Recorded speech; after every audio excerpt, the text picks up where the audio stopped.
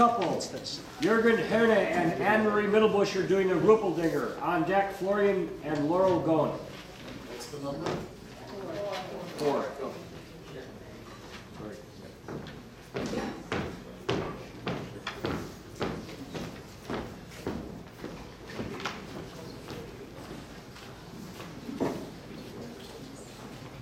You ready? Yes.